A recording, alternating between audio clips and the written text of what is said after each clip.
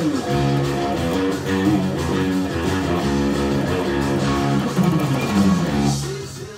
Welcome to Goes to 11 Guitar. Today we're going to have a go at Livin' La Vida Loca by Ricky Martin, the very first little riff. It's kind of cool, dead simple. Uh, drop tuning. So we're going to drop the E uh, down to C sharp. So everything goes down a tone and a half. So the low E string is a C sharp, and then that makes the A string down to an, an F sharp. So this riff's only on the one string. It's just a bit of fun, uh, so that's what makes it nice and easy. So a low C sharp.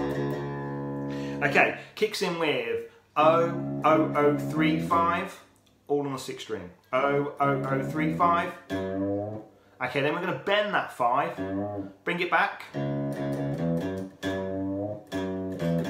And it's 5, 3, 5, 3. So, nice and slow. And then O, O, O, 3, O, O. And then at the end, just sliding down anywhere from like the 19th fret on the sixth string.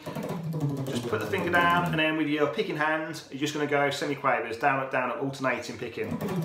A bit of palm muting. It's kind of Zakk Wylde, that's what he does a lot. Okay, so the whole riff dead slow.